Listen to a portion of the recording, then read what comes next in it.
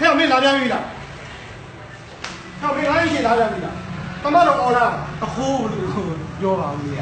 ဟောဒီအခုဟုတ်တာဟာမင်းကပြောပြတာငါရင်ရှင်းလာကြမလို့လို့ပြောပြတာမင်းငါသမီးနဲ့ဘောမတူတာ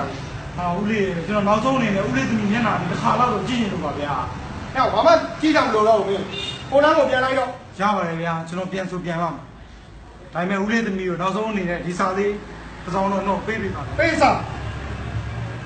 ပြန်တော့ပြန်တော့ ကျွန်တော်ပြန်ပါပြီဗျာကိုယ့်ဟာကိုယ်ကျွန်တော်သိပါတယ်